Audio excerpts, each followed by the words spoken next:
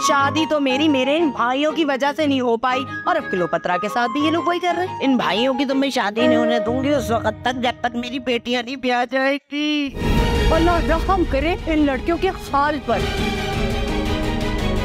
इस घर में हम लोगों के पास माँ सिवाय इज़्ज़त के और है ही क्या? फिर अगर हम ऐसी हरकतें करेंगे तो हमारे माँ बाप की क्या इज़्ज़त रह जाएगी?